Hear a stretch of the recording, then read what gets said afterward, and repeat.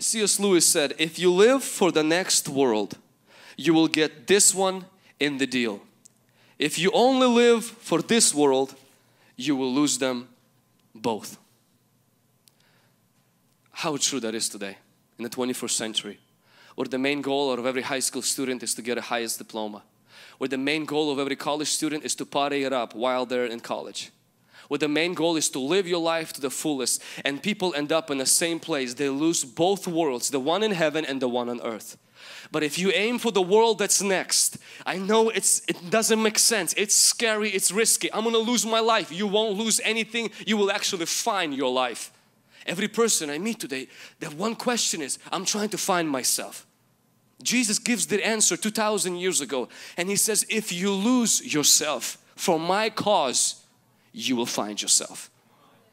If you try to find yourself, you will lose yourself. But if you honor the Holy Spirit in your life, you will find yourself. Point number three.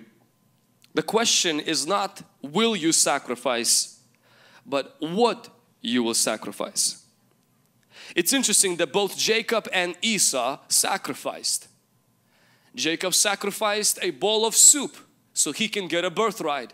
Esau sacrificed a birthright so he can get a bowl of soup. People who walk around and saying, you know what, I don't want to tithe. I don't want to live sacrificially. I don't want to live for the next world. I don't want to bring people to Jesus. I will come only to church when my schedule permits. I don't want to do anything for God that will cost me my comfort.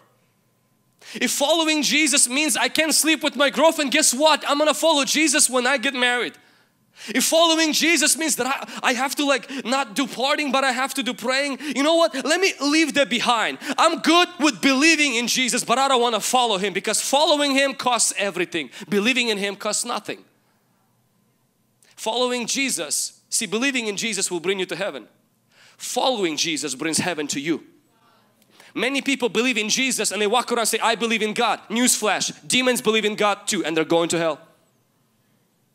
Believing in God is not what really matters here. What matters, Jesus didn't just call people to believe, He always called people to follow Him.